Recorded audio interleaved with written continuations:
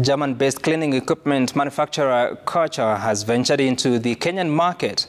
The firm is set to invest 428 million shillings in a move expected to operationalize the business into a full subsidiary, which includes a regional distribution center at Freight Forwarders Solutions in Tatu City. More than 78 local, regional and global businesses are operational or under development in Tatu City's location.